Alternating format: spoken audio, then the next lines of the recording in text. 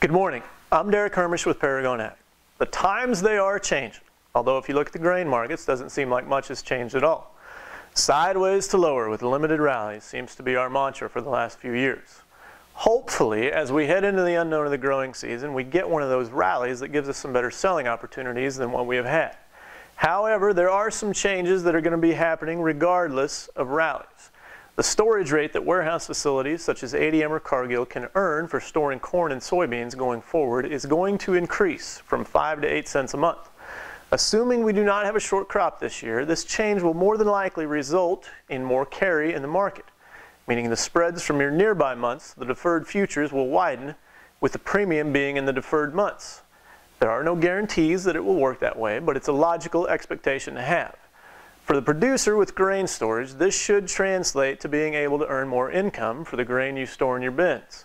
But you will have to sell that carry in the market to capture and treat futures and basis as two separate portions of your cash marketing.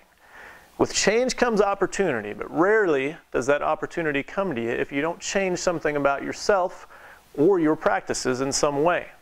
There will be opportunity for the producer willing to explore and understand these rate changes. And if you'd like to talk about them, give us a call at Paragon, 888 452 8751.